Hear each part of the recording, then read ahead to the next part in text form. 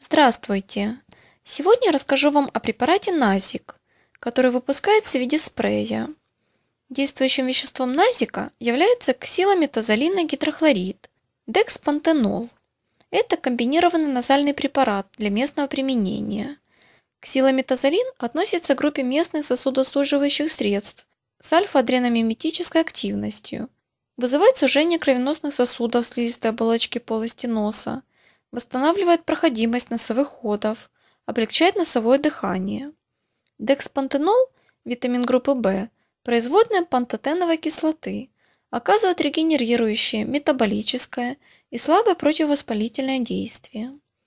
Применяется препарат при острых респираторных заболеваниях с явлениями ринита, при остром аллергическом рините, вазомоторном рините, синусите, среднем отите, для облегчения проведения риноскопии, для восстановления нарушенного носового дыхания после хирургических вмешательств носовой полости.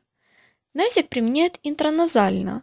Необходимо извлечь помповое дозирующее устройство из упаковки, откупорить флакон с препаратом, накрутить на горлышко флакона дозирующее устройство, снять защитный колпачок.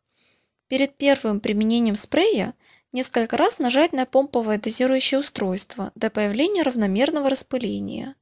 При применении назального спрея флакон необходимо держать в вертикальном положении.